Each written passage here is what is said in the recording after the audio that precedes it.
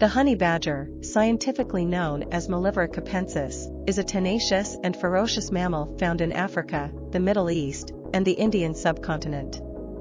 Honey badgers have a long history in various cultures, often revered for their fearlessness and perceived toughness.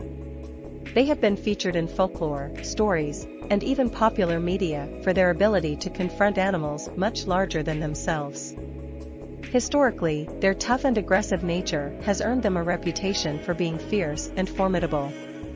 Honey badgers are opportunistic omnivores, meaning they consume both plants and animals.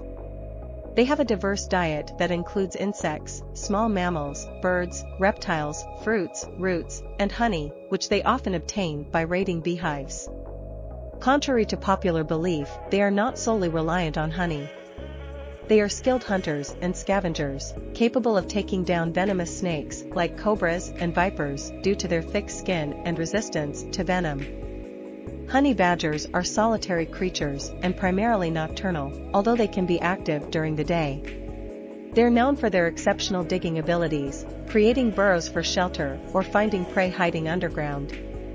Their tough skin, especially around the neck and back, acts as a defense mechanism against bites, while their powerful jaws and sharp teeth enable them to crush bones and break into beehives.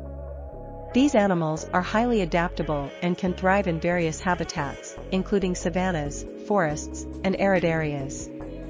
They are also capable climbers and swimmers, making them versatile in their environments.